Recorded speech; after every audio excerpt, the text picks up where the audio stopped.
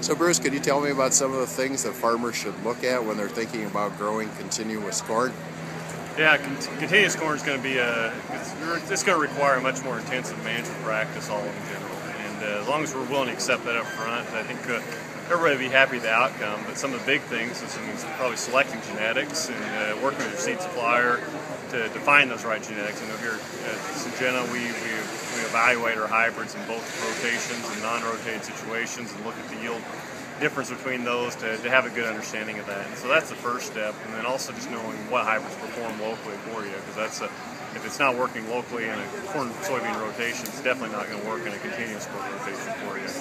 Um, beyond that, though, I think we have to think about effectively managing pests because you're going to have higher pest pressure in there, and rootworm comes to the top of the mind.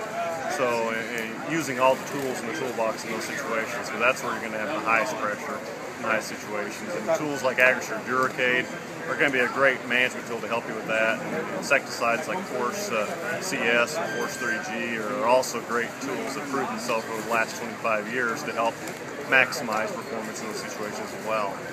Uh, don't forget about the disease, and, and uh, you're going to have higher levels of disease pressure in those situations. So you know, managing through a, with a fungicide like Quilt Xcel, the right timing, of, you know, a V5 application followed by an R1 application can, can help in most situations on that. And then, uh, and then don't forget about nutrients. We have to feed the plant.